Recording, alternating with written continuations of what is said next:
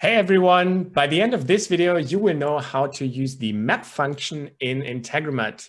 My name is Dominik Lehnert. Let's get right into it. I'm talking about this function right here. So in Integromat, you basically have two kinds of mappings.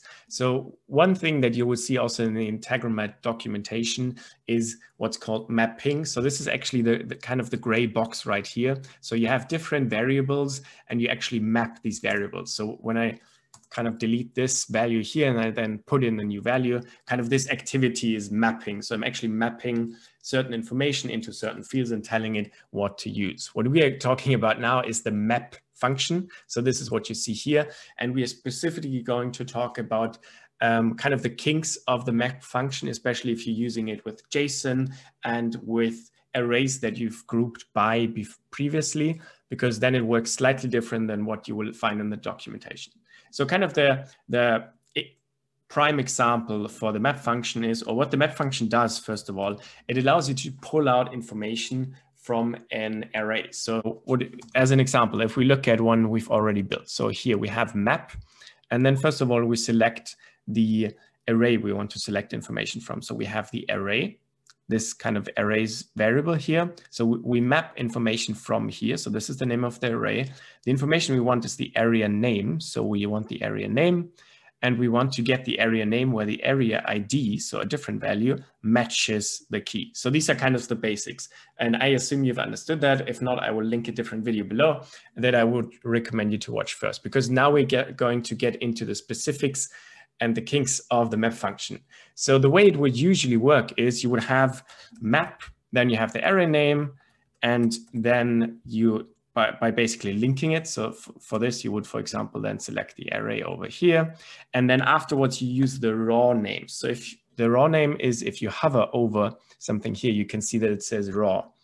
And also, for example, here, if we have an image, no, sorry, if we have here the array, it has a raw name. So if we use the map function, we have to use the raw name for it to work. So if what you would assume is if, for example, you want to refer to the array, you would actually have to write array instead of clicking it. So you can see like here that it's nice and green. You actually have to write array um, in the back of the map function. So you have to use the raw names. But um, what's where it differs from that is if you, you want to use um, variables that have previously been passed from JSON, because then you actually have to write the name you see here. So how it works with JSON is that if you, let's get back to our example. Here we have the areas variable. And then if you want to get the area name, so one thing you could try is, okay, let's, what's the raw name? Hmm, area name doesn't have a raw name. Hmm, that's not good. Then you could try to link it in here, but then you can already see that it, it references a specific element in the array. So in this case, it's the first one, but we want just want the generic area name and not always the first element. And the way it works with if you've compiled JSON and you want to refer to that is you actually have to write out the name that you see down here. So it's kind of the combination of the two. It's kind of the raw name.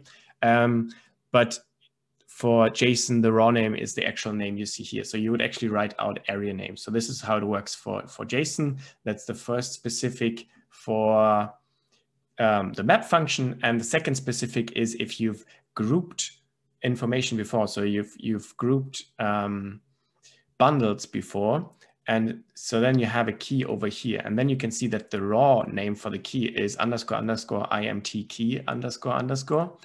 But that is not what we, you, you want to use if you want to use it in the map function. But if you use it in the map function, this is also an exception where you actually have to pull in the key like so. So you actually click it. And so what you would expect is you, you put this in underscore underscore key underscore underscore, but you actually, for this, if you have a key up here that you grouped by previously, that you used to group by previously with, then you actually have to put it in this way instead of using the raw name because this this one has a raw name, but you don't actually want to use the raw name.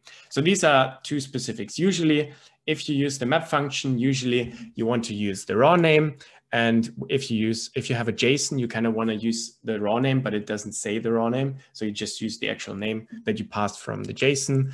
And as well as if you have group by, um, if you've used bundles that you've grouped by, then you want to not use the raw name for the key uh, that you group by if you want to use that, but you actually want to pull that in.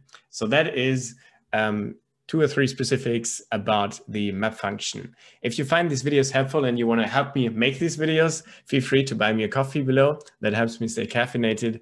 And also if you want to discuss specific projects that you have, feel also feel free to buy me a coffee below. That allows me to set aside some time on my calendar and we can sit down and talk about what you're trying to build in Integromat. My name is Dominik Lehnert. Take care and goodbye.